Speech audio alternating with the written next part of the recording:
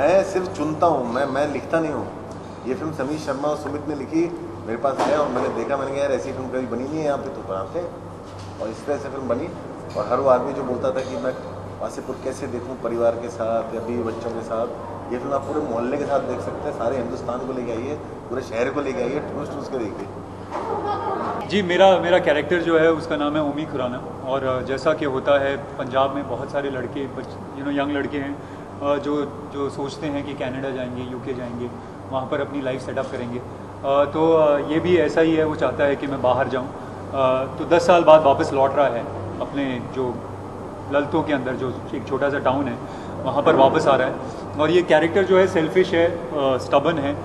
जो करना चाहता है, वो करेगा, वो सोचेगा नहीं कि दूसरों को, के ऊपर क्या इम्पैक्ट पड़ रहा है। और, उसके अंदर यहाँ पर आकर जो बदलाव होता है, क्या होता है चिकन रेसिपी के साथ क्या किस तरह से ढूंढी जाती है ये रेसिपी उसके इर्द गिर्द कहानी है।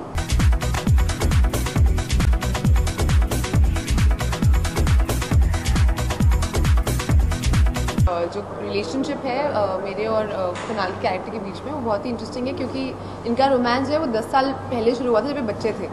और तब लड़के को लगता था कि हमारी दोस्ती और इसको लगता था कि प्यार है। और फिर वो चला गया किसी रीज़न की वजह से और वो वापस आया है। And he obviously wants to start जहाँ से चीज़ें छुट्टी थी और इसके मन में बहुत सारा हर्ट और इतने साल का गुस्सा है कि बिना बताए कैसे चला गया।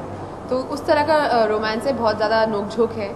और हम हमेशा झगड़ता झगड़ा करते रहते हैं किसी को डांटते रहते हैं। और फिर भी मगर जब ये रेसिपी की बात आती है और रीडिस्कवर करने की बात आती है तो यू नो हाउ हम दोनों मिलके उस रेसिपी को साथ में ढूँढने की कोशिश करते हैं।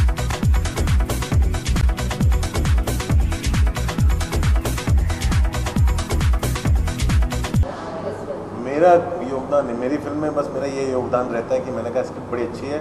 और मैं पूछता हूँ, बनाओगे कैसे? उसने कहा, बड़े सिंपल तरीके से मैंने मैं बोलता हूँ, जाके बनाओ।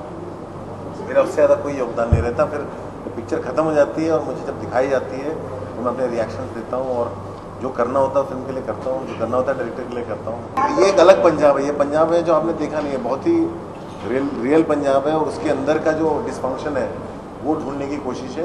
ये परिवार ही अपने आप में खास है। मतलब कुछ अलग ही टाइप के लोग हैं यहाँ पे। टिट्टू मामा और वो बुआ जी और वो चाचा जी और दादाजी और सब सब अलग ही जोन में रहते हैं और उस परिवार की कहानी है।